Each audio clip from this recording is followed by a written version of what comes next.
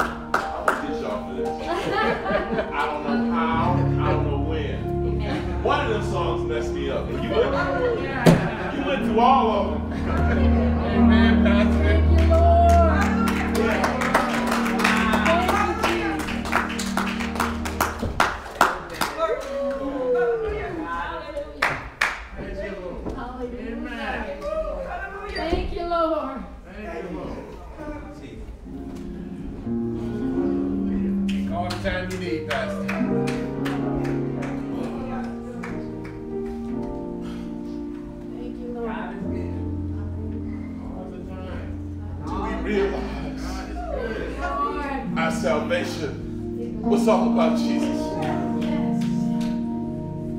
Do we realize where we would be without him? Because he lives, I can face tomorrow. Yes. Thank you, Lord. Thank you, Lord. See, we, we, we are in a land of no hope. The messages that come out in the world without hope. But we are the fortunate few who have grasped hope is. And that hope is in Jesus. Oh, we thank you, God, for him. That precious saving blood. My goodness. Father, we come to you today humbled and thankful that you sent your only begotten Son to die on that cross for my sins.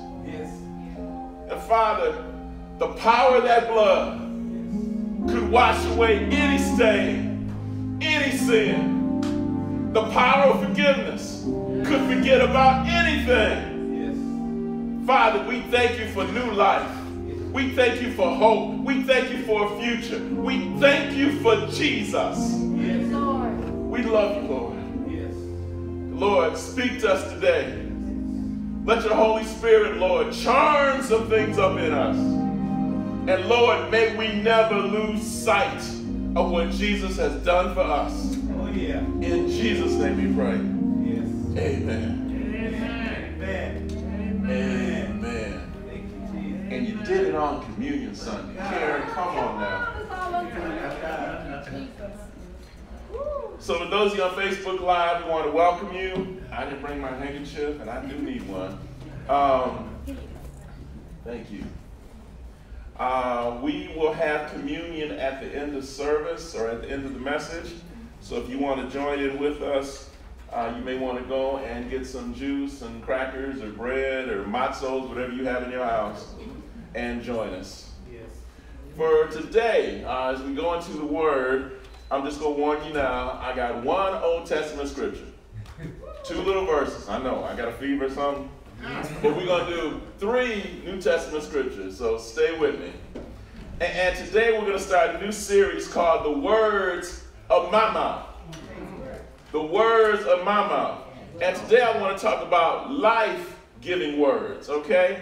And, and, and as you look on the screen, uh, you might see a bullhorn in the, at the corner of the screen. What are you blasting out when you talk? What are people hearing? Amen. So let's go into our English part of the lesson. And, and the term life giving, it means power, having power to give life and spirit. In other words, you really can't have a good life if you got a low spirit. Make sense? The term invigorating. This ain't about a cologne or a lotion or, or a high protein drink or a high caffeine drink. It's about having an enlivening or stimulating effect. In other words, something said life giving is going to invigorate somebody. Mm. The Bible says that he that we have that he has quickened us, quickened us, made us alive, taken us from death to life. Amen. Amen. And the term exhortation, there's a nice spiritual word for you, to encourage and to strengthen, to encourage with wise and well-timed counsel. I want to put some emphasis on the well-timed. There is a right time and a right place to give people advice, but it's got to be driven by the Holy Spirit. It's there to encourage them. That doesn't mean you're going to tell them what they want to hear. You're going to tell them what they need to know. Amen. What they need to know is what's going to be what's going to be the thing that delivers them. Amen. Amen. So the key verse for this month. Let the words of my mouth and the meditation of my heart be acceptable in your sight, O Lord, my strength and my redeemer. The words of my mouth, all right, they start where? They start from where? In our hearts. We're going to look into that. Now, what we need to understand about the effective words death and life are in the power of the tongue, and they who indulge in it shall eat the fruit of it, for death or life. In other words, what you say has consequences. The word consequences, the, the, the consequences can be good and they can be bad. Some things you say good are going to be returned into. You, you put out a positive seed, you're going to sow a positive seed. But if you put out something bad, you're going to have some weeds pop up in your life. Hmm. There are going to be some consequences. There's going to be a, a comeback that you don't want. Make sense? Amen. So consequences are both good and bad when it comes from words. So where do words start? Let's go to Matthew, Gospel of Matthew, chapter 12. And there Jesus is talking verses 12, starting at verse 33, and we're going to go through verse 37. And this is Jesus talking. He says, Make a tree good, and its fruit will be good. Or make a tree bad, and its fruit will be bad. For a tree is recognized by its fruit. What's fruit? Hmm. It's the produce, what comes out of it. Okay? You brood of vipers. He's talking to religious folk here. How can you who are evil say something good? For out of the overflow of the heart, the mouth speaks. Y'all catch that? The good man brings good things out of the good stored up in him and the evil man brings evil things out of the evil stored up in him. But I tell you that men will have to give an account on the day of judgment for every careless word they have spoken. My goodness. For by your words you will be acquitted, and by your words you will be condemned. You don't want to have a reputation of somebody who gives a bad word. Amen. Or how about this? Somebody who lies. I got a friend, uh, I, well, used to be a friend. I ain't seen him in years. But there, he would lie just a lie. He would make up stuff, and it's like, really, dude? But see, the problem with, our, with, with the friendship was I couldn't trust him because I couldn't trust his word. I didn't know what was in his heart. Am I making sense here? Luke chapter 6, verses 43 to 45. This is a, a, rehashing in another gospel. It says, No good tree bears bad fruit, nor does a bad tree bear good fruit. In other words, if you planted an apple tree, you expect to get apples, right? You don't expect to get cucumbers. Am I making sense? Each tree is recognized by its own fruit. People do not pick figs from the thorn bushes or grapes from briars. The good man brings good things out of the good stored up in his heart, and the evil man brings evil things out of the evil stored up in his heart. For out of the overflow of his heart, his mouth speaks. We've heard it twice there, right? We want to say the right thing. We want the good thing coming out of our heart. Anybody want to be evil? Amen. I'm in the right church. So let's look at this. Tongues gone wild. Let's go to the book of James. James is a half brother of Jesus. He was also uh, the bishop, if I'm understanding right, I believe of Jerusalem. Or was it Rome? No, one of the two. And he had a nickname of Old Camel Knees. Not because he had funny looking knees naturally, but because he was always on his knees praying. Can I tell you something? So, in James chapter 3, And see, I'm being nice today. This is the last scripture you got to turn to. Don't worry, I'll have others to give you, but you ain't got to turn to them. Not many of you should presume to be teachers, my brothers, because you know that we who teach will be judged more strictly. Do you get that? If I get up here and tell you a lie or my opinion or try to manipulate me, you, God is going to judge me. And I don't want, I don't want the, what they call the botch of Egypt in the Old Testament. I ain't gonna go into what it is. And I definitely don't want leprosy, all right? We all stumble in many ways. If any is if anyone has never fought in what he says, he is a perfect man. Anybody perfect? Raise your hand. Okay, I'm in the right church. Able to keep his whole body in check. When we put bits into the mouths of horses to make them obey us, we can turn the whole animal. Anybody been horseback riding? Yeah. Okay. And when you turn your reins, which are attached to the bit, and it turns the horse's head, what does he do? He turns. All right. Or take ships as an example. Although they are so large and are driven by strong winds, they are steered by a very small rudder wherever the pilot wants to go. Likewise, the tongue is a small part of the body, but it makes great boasts. Consider what a great forest is set on fire by a small spark. The tongue also is a fire, a world of evil among the parts of the body. It corrupts the whole person, sets the whole course of his life on fire, and is in itself set on fire by hell. All kinds of animals, birds, reptiles, and creatures of the sea are being tamed and have been tamed by man but no man can tame the tongue. It is a restless evil full of deadly poison. But Pastor Glen, if no man can tame the tongue, what hope we got? Well, see, that says you got the, the, the operating word here is man. We, that's what we don't want to do. With the tongues we praise our Lord and Father, and with it we curse men who have been made in God's likeness. Out of the same mouth come praise and cursing. My brothers, this should not be. Can both fresh water and salt water flow from the same spring? My brothers, can a fig tree bear olives or a grapevine bear figs? Neither can a salt spring produce fresh water. Who is wise and understanding among you?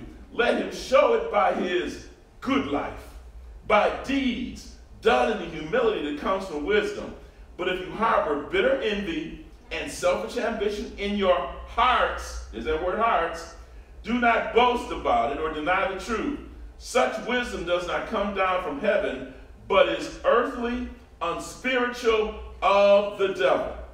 For where you have envy and selfish ambition, there you find disorder and every evil practice. You know, let's go back to the devil. When he got kicked out of heaven, he got kicked out of his because of his words. I will ascend. In other words, he's saying, I'm taking over. And God's like, nah, you ain't, you out of here. But the wisdom that comes from heaven is first all pure, then peace loving, considerate, submissive, full of mercy and good fruit, impartial and sincere.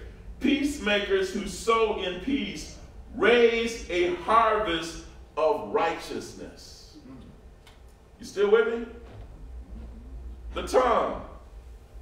So the word boast, it means to speak in exaggerated or excessively proud terms of one's possessions, skills, or superior qualities. To boast means it's about me. Let me tell you how great I am.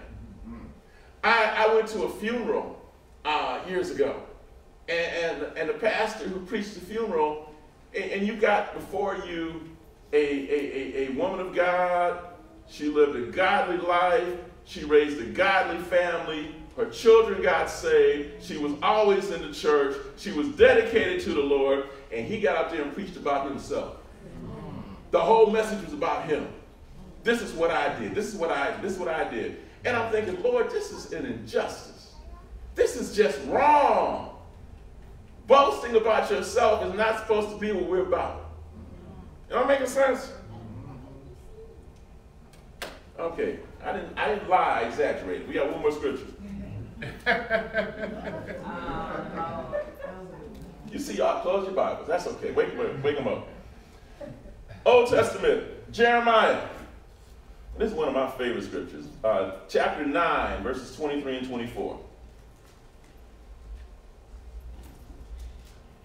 Again, I'm in NIV. This is what the Lord says.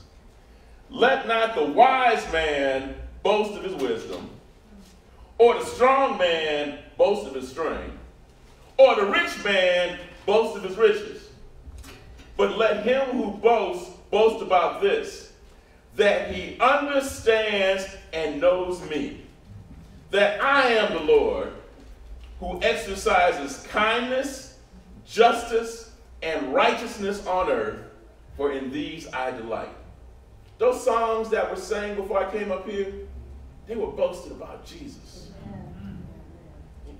We can boast about him. We can boast about his kindness.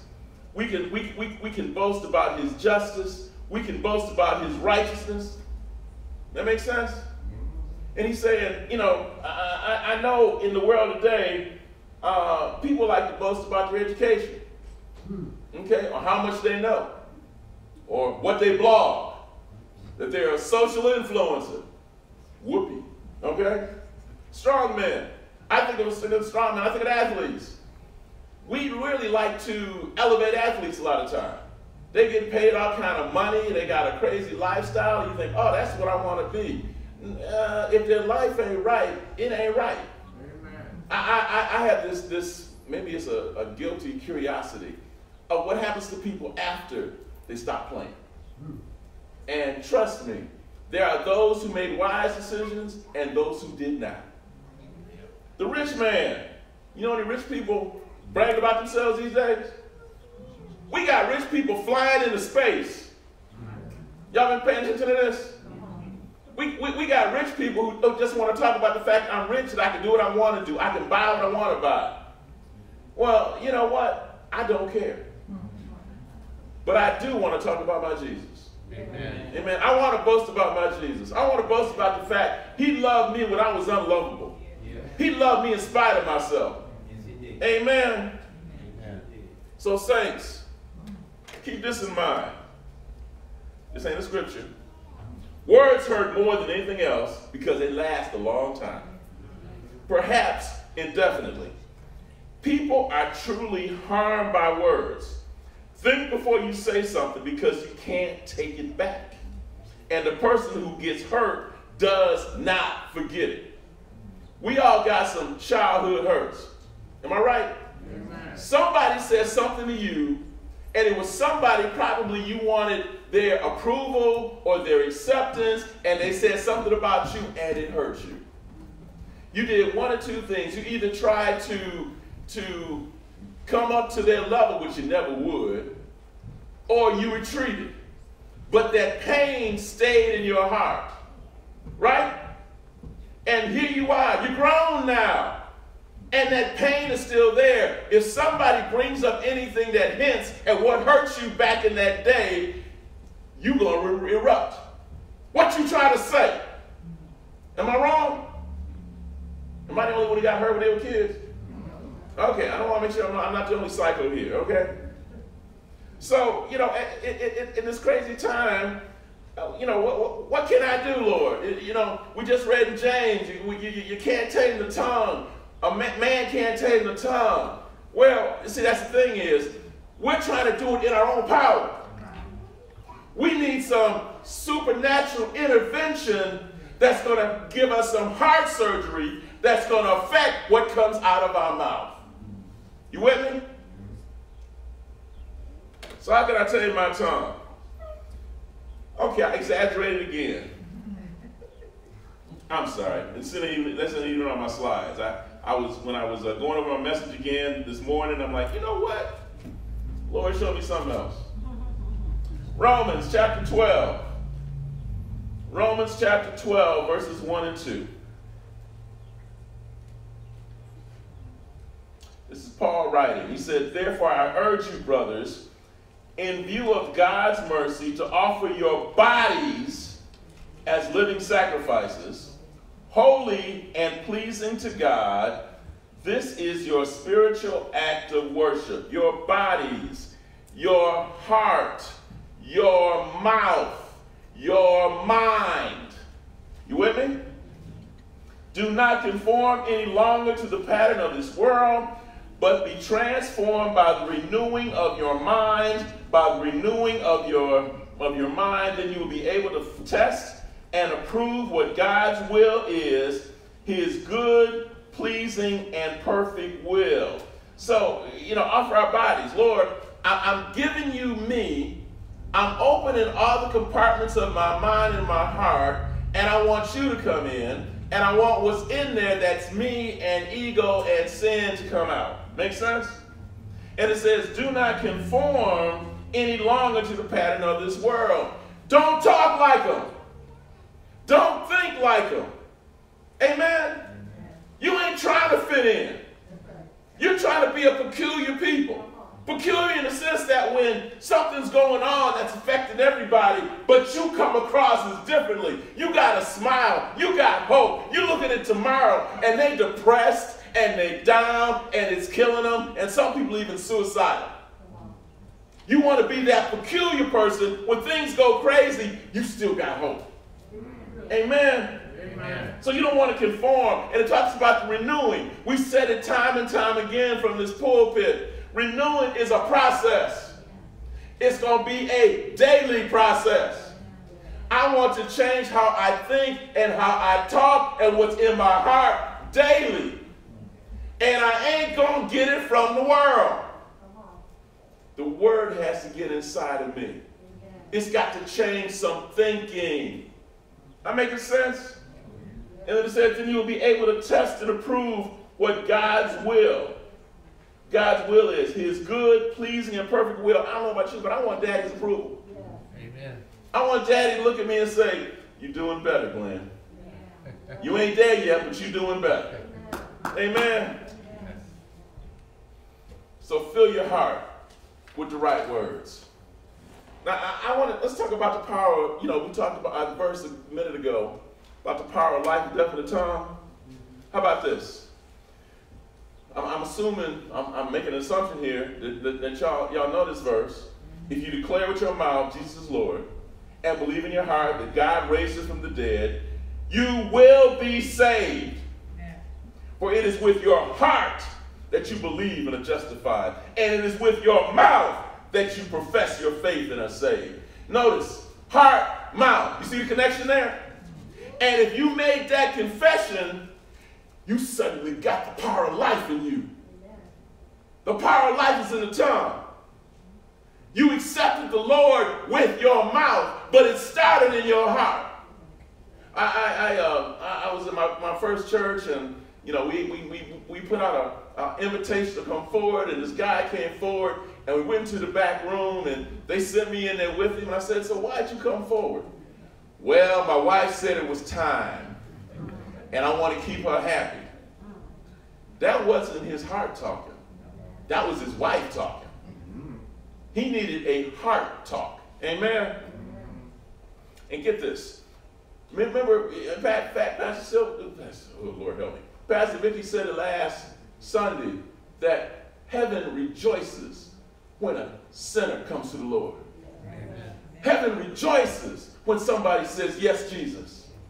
So the words from your mouth cause a celebration in heaven when you say yes. Amen. How about this? It's in Hebrews 13, 15, and 16 through Jesus. Therefore, let us continually offer to God a sacrifice of praise, the fruit of lips that openly profess his name, and do not forget to do good and to share with others, for with such sacrifices, God is pleased. The fruit of lips my words, when they come from my heart and they're sincere and they're in worship to God, I'm making my daddy happy. Oh my goodness, I want to make my daddy happy. I really wanted food from my dad. And my dad wasn't a man of great many words. I got a lot of them, but it took me a while. He would just grunt. Dad, this happened. And there were different grunts for different things. There was There was hmm. That means he's, he, he agrees with it. That's good. Then there was hmm. Okay, I'm gonna think about that one. Then there was hmm. He didn't like that. we had a we had a grunting language in our house, and I have to admit I did learn it. You know. But I wanted my dad's approval when I got a hmm. I'm like, all right, I'm doing good. Thank you, Lord. Hmm. There you go. I hear you, brother. Step two in tongue taming. Pray that God would give an awareness of your words. Psalms 141 3. Set a guard over my mouth, Lord. Keep watch over the door of my lips. When that door opens, you don't want the wrong thing coming out. Amen? Amen. You don't want something that's going to hurt somebody and it's going to stay with them for the rest of their life because of something you said. You don't want to kill their dreams. You don't want to kill their hopes. You don't want to shake their emotions. Amen? Step three, tongue taming. How about this one? Surrender your right to complain. Some people think, I got to say what's on my mind. You know what? Wisdom says you ain't got to say everything that's on your mind. In Philippians 2.14, this is in the New Living Translation. Do everything without complaining and arguing so that no one can criticize you. You get a reputation based on what you say. Live clean, innocent lives as children of God, shining like bright lights in a world full of crooked and perverse people. Hold firmly to the word of life. Speak words of life. You, you hear this? Taming the tongue. Step four. Ask for forgiveness for any unloving words or attitudes. Forgiveness from who? Well, first, forgiveness from God, because all sin is an offense to God, right?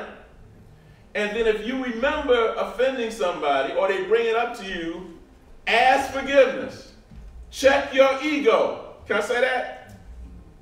James 3 2. We all stumble in many ways. Anyone who is never at fault in what they say is perfect, able to keep their whole body in check. Again, I already asked it. Anybody perfect here? Now, the word, one of the words I want to point out here, ask for forgiveness for any unloving words or attitudes. Attitudes. How you say it. Yeah, I love you. But see, attitudes come out in different ways. Body language, facial expression, tone of voice. See, we need to say the right thing and show it the right way. If you show it the wrong way, your words mean nothing. Because your attitude is perceived. It's said that we communicate more with our body language and with our face than we do with our words. Amen. That true? Yes. All right. Taming the tongue.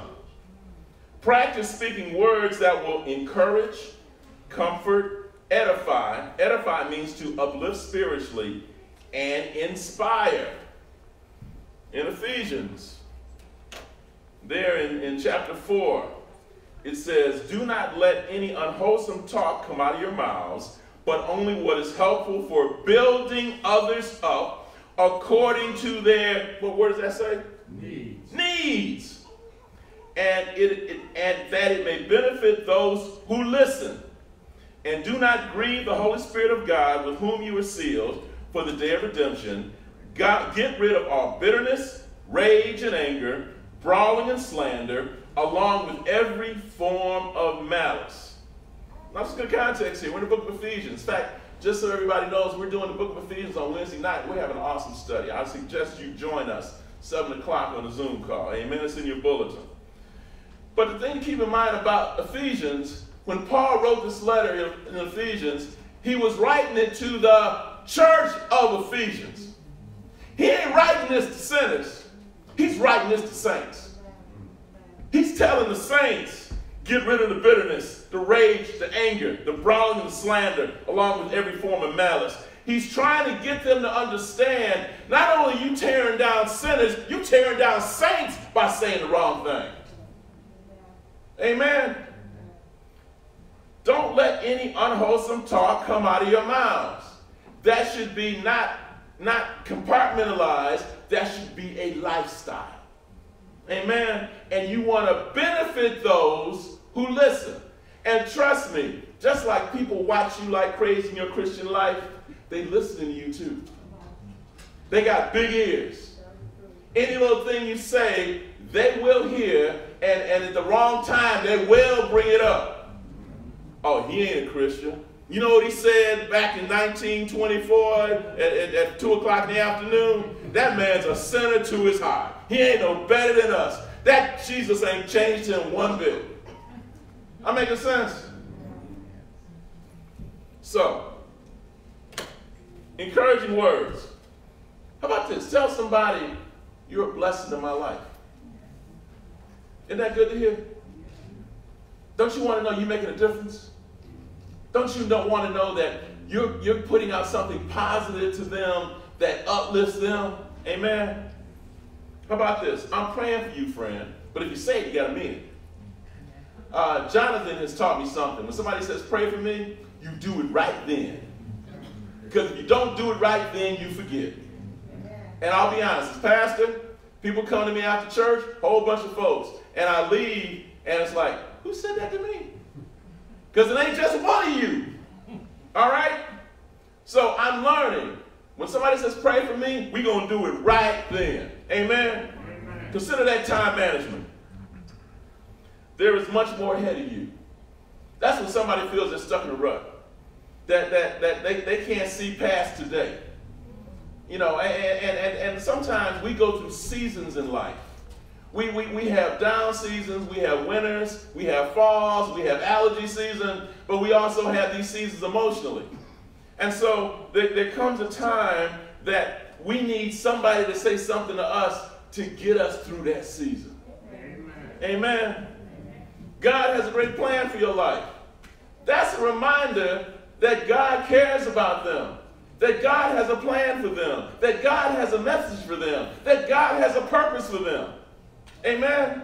Amen. Be strong and courageous. You can do this. The, the, the, term be strong or fear not, be strong and courageous, fear not, are mentioned like 365 times in the Bible. Why? Because we get scared. Because we, we, we, we, we feel like we can't go on. We feel like we can't handle it. Amen. So be strong and courageous. You can do this. In other words, you don't want to have a philosophy of, you know, uh, brother, don't be weak and scared. Amen? How about this? I love you and God loves you. No, I did not get that from, uh, what's his name? The big time preacher? My name? Uh, who am I talking about? Um, the tall guy with the smile. That's the guy. Joel Osteen. There you go.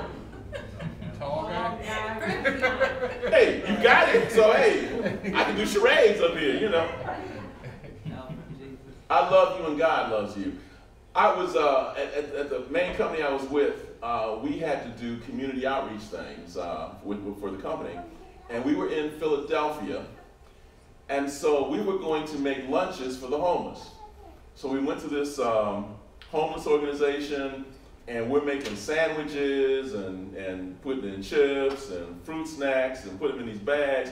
My job was to write an encouraging note on each bag. I'm like, why'd y'all pick me? But one of the things I put out there was, I love you and God loves you. That's truth, right? They said what people would do with those bags, the homeless, they would collect them all and they, they eat the food, collect the bag, put it in their pocket, and when they had a bad day, they pull the bags out. Because they needed a word that was going to get them through that day. Amen. Sometimes, folks, you need to give a word to get somebody through that day. Don't give up on your, don't give up on your dreams. I mean, we, we like the Bible story about Joseph. He's given a dream that one day his brothers going to bow to him and like a dummy. He told his brothers and they threw him in the pit. Y'all know the story. But the dream did happen. It took 20 years, but the dream happened. And I'm sure when he's in the bottom of the pit, Lord, you didn't tell me this part. when he was made a servant in Potiphar's house, Lord, you didn't tell me this part. When Potiphar's wife lied on him, he ended up in prison. Lord, as a roach crawls across his chest, you didn't tell me this part. Yet, he ended up in the palace, second in command in Egypt, doing the will of God. Not only saving Egypt, not only saving his family, all the nations around, because famine hit all of that area. So the Canaanites, the Kenites, all these, the Jebusites, everybody needed food, needed to come to Egypt because God had put wisdom in Joseph. And because God put that in Joseph, he saved a whole lot of people's lives. But the dream happened years ago. Don't give up on your dreams, folks. God has put something in your hearts that you know you're supposed to do, that you feel is your destiny. Don't give up on your dreams. Amen. Amen. God is preparing you for greater. What's greater? I don't know, but God does. You know, I, am I'm willing to say that most of us ended up in a better position than we ever thought we'd get it to. I'm hoping at least. And if not, don't give up on your dreams.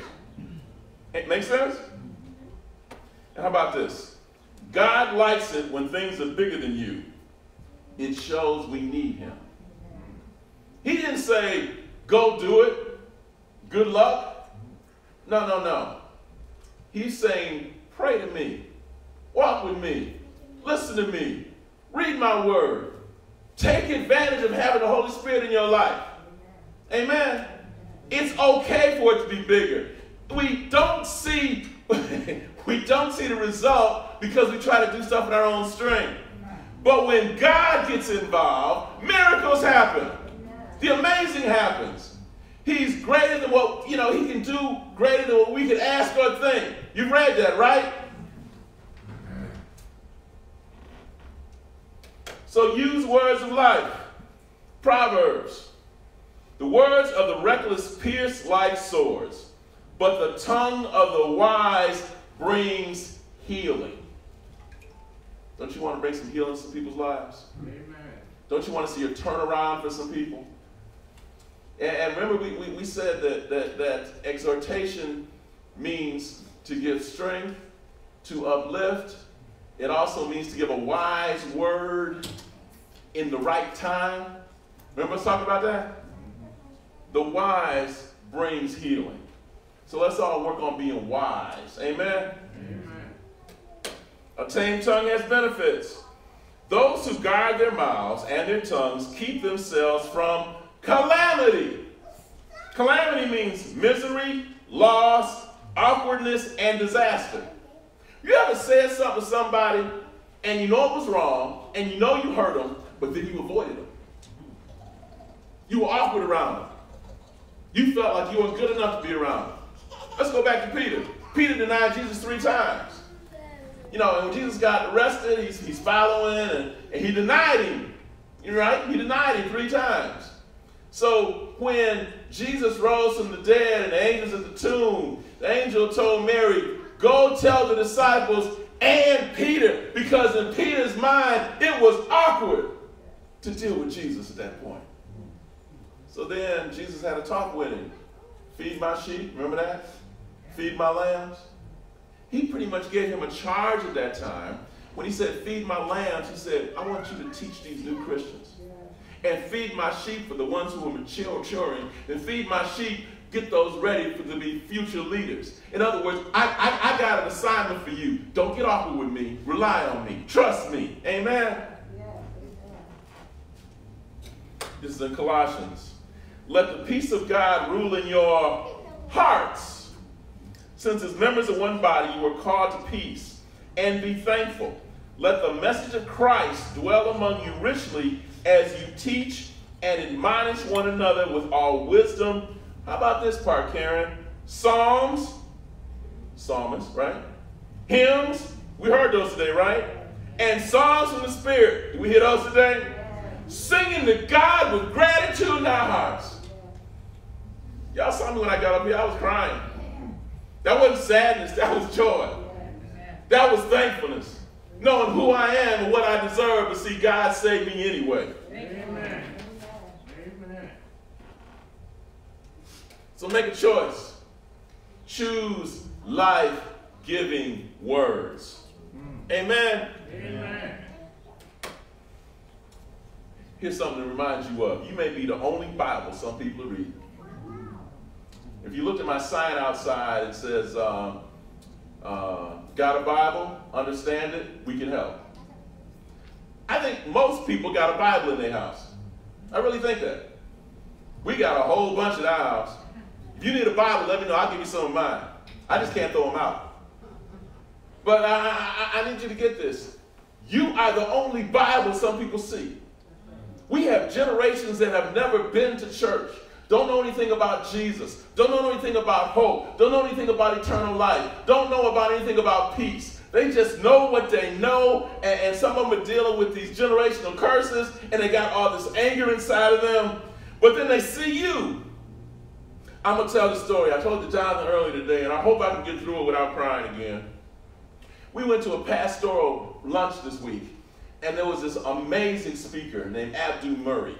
He was actually, he went to U of M, he got his bachelor's, he got his doc, he's got his uh, Juris Doctorate, so he was a lawyer. He was a trial lawyer, very articulate, but he was a Muslim. And he kept approaching Christians and saying, Why do you believe in Jesus? Why are you a Christian? And they couldn't give him a good answer. And he's a lawyer. He knows how to go after somebody. So he went, he started finding out something. Some people only became Christians because it seemed to be tradition. Well, my family did it, so I'm going to do it. He said, then I realized my, my, my, my hypocritical stance. That's why I'm a Muslim. My family did it, that's why I did it. Mm. So he went into a nine year investigation of Christianity. And at the end of it, he accepted Jesus Christ as Savior. Mm. So he told the story. Uh, it wasn't his story, but it was about this missionary who went to Yugoslavia. And, and, and Yugoslavia is kind of crazy. You've got all these different factions. You got, you, you, know, it's not even Yugoslavia anymore, but you got the Serbs, you got the Muslims, you got the Bosnians, they're all trying to kill each other. And then, so he went, and this missionary went over there and he's talking to this man, and, and he was saying, you know, I, I want to talk about Jesus. He said, I don't want to hear about your Jesus. Because the government and the church work together. They wear the big hats, they wear the long robes, and they abuse us. There ain't nothing you can say to me about Jesus. So the missionary said, Well, look at this way. You know, you, you have a hat and a coat that you wear all the time, and, and, and one day somebody steals your hat and coat and robs the grocery store. And the people say, Oh, we know who that was. We know whose hat and coat that was. So he said, You know, what if the police come to get you because they identify your hat and coat? He said, What are you going to say? He said, Well, I didn't do it. That's not me. He said, Well, that's the problem with these religious leaders. They're wearing the hat and coat of Jesus, but they ain't exemplifying Jesus. So the guy said, I still ain't accepting your Jesus. So he said, he ministered to him for years. Till finally one day he said yes to Jesus. He said, You want to know why?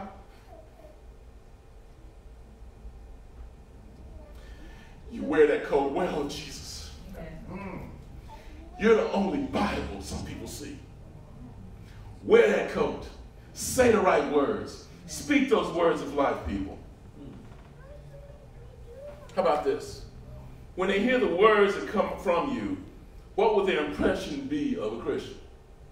Amen? Amen. Can you say testimony? Be that person that builds up and shows that it's a true blessing to be a child of God. Is it a joy for you? Does it come out? Does it, do, do, you, do you show or express just this, this inner joy that Jesus is in my life? I've got hope. I've got a reason to smile. Because he lives, I can face tomorrow, Karen. Amen? Amen. Last verse of the day. Believers shouldn't curse anyone or be quarrelsome, but they should be gentle and show courtesy to everyone because you're the only Bible some people are going to see. So let's watch our words, people. Be blessed. Amen. Amen. At this time, we're going to have communion.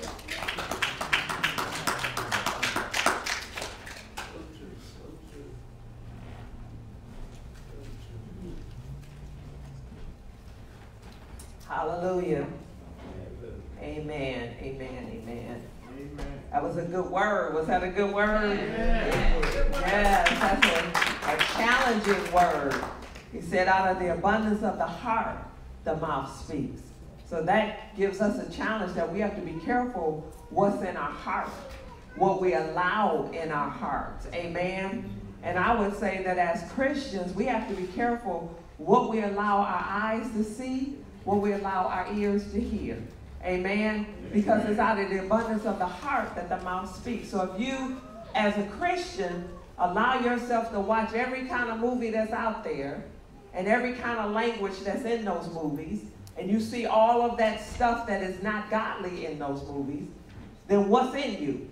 You allowed all that stuff to come in you. So what you need to do is fill yourself up with the Word of God. Fill yourself up with the songs of the kingdom, like the songs we sang today. And then when pressure comes, that's going to be what's in you, so that's what's going to come out of you. Because what happens is when you're under pressure, that's when you snap. We saw something snap and we saw a slap, but we ain't going to talk about that.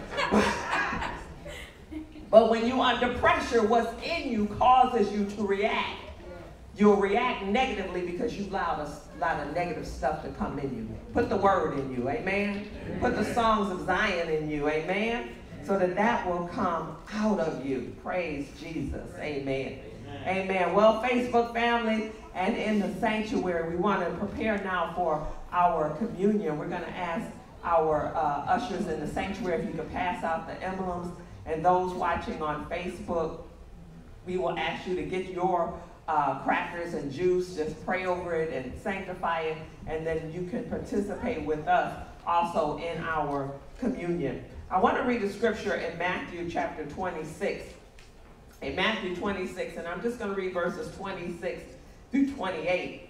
And this is Jesus celebrating the last Passover uh, with his disciples before his crucifixion. And after they ate the Passover meal, which uh, you know included unleavened bread, and they would also drink wine, and they, they celebrated the, the Passover. But then Jesus, at this point in verse 26, and as they were eating, Jesus took bread, blessed and broke it, and gave it to the disciples and said, Take, eat, this is my body. Then he took the cup and gave thanks and gave it to them, saying, Drink from it, all of you, for this is my blood of the new covenant which is shed for many for the remission of sins. And so in that moment, Jesus took the occasion of the Passover meal to inaugurate, to inaugurate and change the Passover into now the Lord's Supper. Mm. And he said, I want you to look at this bread and this wine in a different way.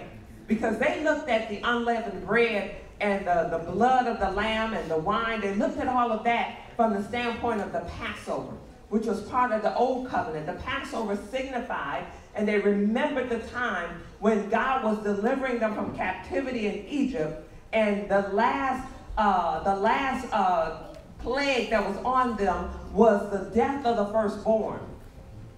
And Jesus told the Israelites, if you will take the blood of the lamb and put it on the doorpost, the doorpost, then the death angel will see that blood, recognize it as covenant, and the death angel will pass by your house. So none of the firstborn of the Israelites died.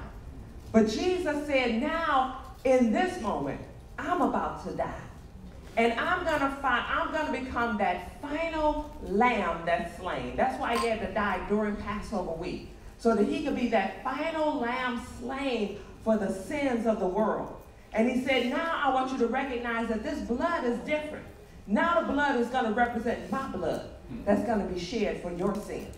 Now it's going to represent the, the, the unleavened bread or the cracker or the wafer. It's going to represent my body that's going to be broken for you. So I'm instituting a new meaning because now we're going to have a new covenant based on a final sacrifice, my sacrifice.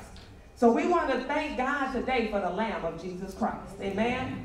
And that's why we celebrate our communion. So we want to start off with the bread or the wafer, if you can get that out.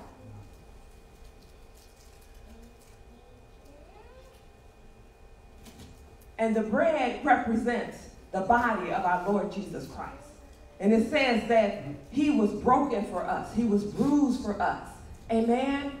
So let's receive together, remember how he suffered on our behalf.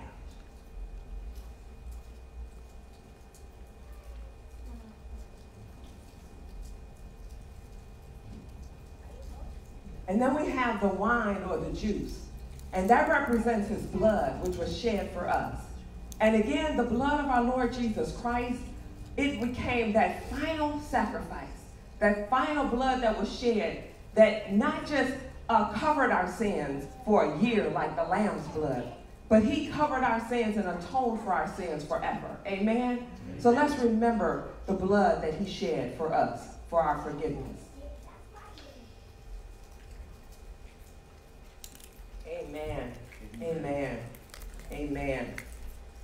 So grateful for the songs that the praise team ministered on the blood, that medley, which is awesome to remind us that there is power in the blood of Jesus. Amen. It just took us back to those back in the day songs of power in the blood. And there is power in the blood of Jesus. Amen. Amen. Amen. Um, at this time, for we want to, I just want to take a moment. If we could stop and pause wherever you're at in the sanctuary, I want to take a moment and just pray for everybody, those on Facebook Live and those in the sanctuary as well. Father God, we just lift up the name of Jesus. We thank you for him shedding his blood for us. We thank you for him dying on the cross for our sins. And Father God, we thank you for the word that's gone forth that's telling us that we need to be careful of our words. Father God, we pray that you will make this a real change moment for everyone, Lord God, in the sanctuary, for everyone who heard the word, for the, for the pastor who preached the word, for everyone, that it will be something that they can apply to their lives, Lord God, and let their words be seasoned with your grace and your peace. And Father God, I'm praying that you will bless us and allow us to continue to go forth and do your will and be pleasing in your sight. In Jesus' name, amen. Amen. Amen. On Facebook Live right now, we're going to say in the uh, comments, we're going to put in there about offering. And we want to thank you for uh, donating to our church. You can give to our church in uh, three different ways. You can either mail in your donations to our P.O. box, the information is there. You can give on our website securely, or you can give via Cash App if that's something that you use. Um, so we want to thank you for your donations and for continuing to support our ministry. At this time, we want to uh, also do our announcements. So, those in the sanctuary and on Facebook Live, you can hear what's going on in Life Renewal Church. Hallelujah. Well, this is the month of May, and we start off by saying Happy Mother's Day. I know that's not till next Sunday, but I think mothers need to be celebrated all month. Amen. So we're going to celebrate mothers all month. All mothers, raise your hand on Facebook Live. I can't see your hands being raised, but you can put in the comments, I'm a mother. We celebrate you, okay? Amen. Um, as far as our announcements coming up on May 15th, that's a Sunday at 9.15, we will have our Pastor's Vision Breakfast. And that's for anyone who wants to become a member of our church, or if you just want to hear the pastor's vision and get to know us as people and find out what we're all about and why we started this church, you can come on May 15th at 9:15. You do need to RSVP by calling the number that's in your bulletin. Um, on Facebook It's also um, on our banner on our Facebook page or on our website. So you call that number to RSVP so we'll know how many people to prepare for. Uh, we have coming up on Friday, May 20th, for the Women of Wisdom. Women of Wisdom, are you in the house? Hey! We're going to have on May 20th a spy digital escape room. So I know Miss Tiffany's uh, escape room artist. so, and I know uh, Veronica is an escape room artist. So we need the ones who know how to get out of these rooms to be in the mix so I don't get stuck in, you know, this is digital. So I won't really be claustrophobic, but I might think I'm claustrophobic. But anyways, it'll be a spy-themed mission that's gonna take us around the world virtually, solving clues so we can escape the room. It should be a lot of fun. So we're doing a fun event on Zoom for our Women of Wisdom. G-Men, are you in the house? Yeah. All right, we got some G-Men in the house, God's men. They're having a Zoom meeting on Thursday, May 19th at 6.30, and they're continuing to talk about emotional incarceration. So men, come on, get on the Zoom. Get over your emotional incarceration. Get free. Amen. Talk to other brothers. Have that discussion, that Bible study. Amen. Amen. Wednesdays at 7 via Zoom, we're having our Bible study and we're studying the book of Ephesians. The book of Ephesians has so many rich nuggets of truth that I believe every believer should know. So if you want to earmark any study, this is the study you need to be on so you can know the truth and the doctrines from the book of Ephesians. We have a transportation ministry. If you need a ride to church and you live within, let's say, a three to five mile radius of the church, we'll be happy to come pick you up. Uh, contact Brother Eric Liberty. Eric, raise your hand. He's in the sanctuary, or you can call the church office and we will put you in contact with him. We have a prayer call on Thursdays at 7 p.m. You can call in to receive prayer, to pray for others, to give your prayer requests. Uh, the phone number um, is uh, in our bulletin. It's also on the banner on our Facebook page. So if you're on Facebook Live, you can still call in and participate with that. Um, and we also want to just thank everyone on Facebook for being a part of our service. We appreciate you so much, and we're going to uh, shut down our Facebook service so we continue in the sanctuary. But we love you guys, and we will see you next week. God bless you. Amen.